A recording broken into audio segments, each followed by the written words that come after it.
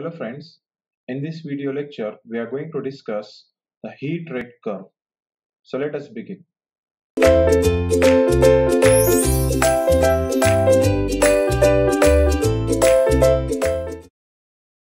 So friends, in last lecture we have discussed the input output characteristics for the generator which is operating in the thermal power station. Now we are going to discuss the heat rate curve for the generators which are operating at the thermal power stations.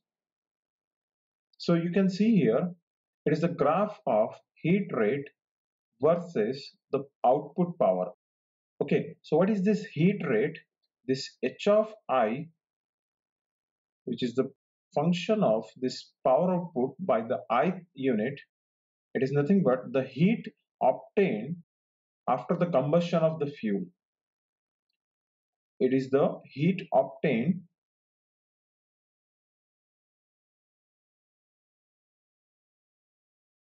heat obtained after fuel combustion which is required to produce or to generate electrical output.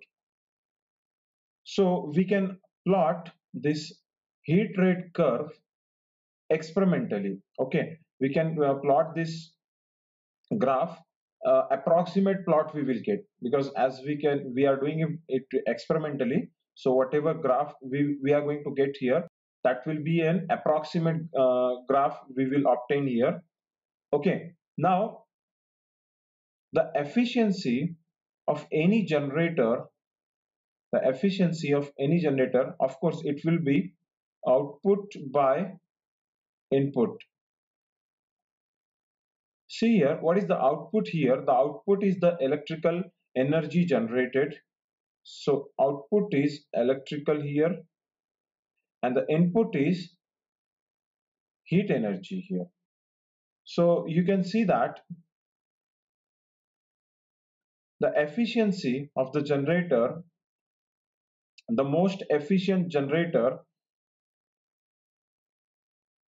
is the one when see the efficiency and this heat they are inversely proportional to each other. This heat rate okay input uh, i must write here as heat rate. So we can see that the efficiency of the generator is in inversely proportional to the heat rate. So lower the heat rate more will be the efficiency okay.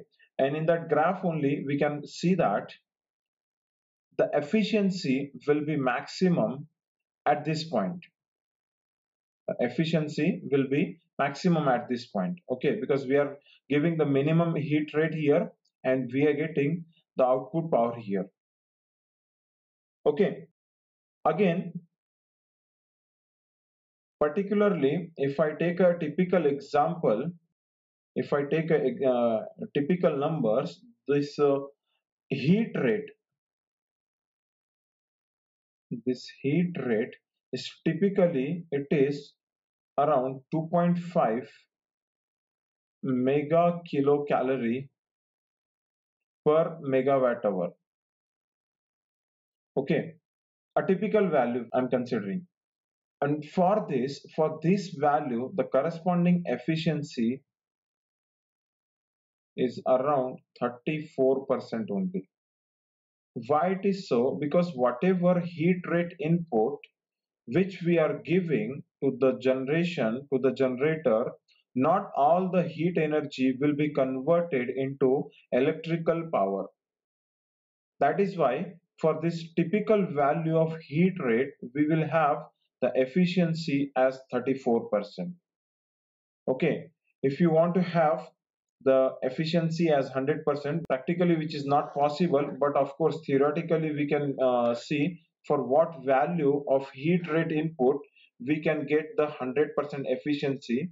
If you want to know that value then of course you can do some mathematical part here for having 100% efficiency. This heat rate value is around it is around 0.859 mega kilocalorie per megawatt hour Okay, so now what, uh, why this heat rate curve is useful or how it can be benefited for us? Why we are studying this heat rate curve?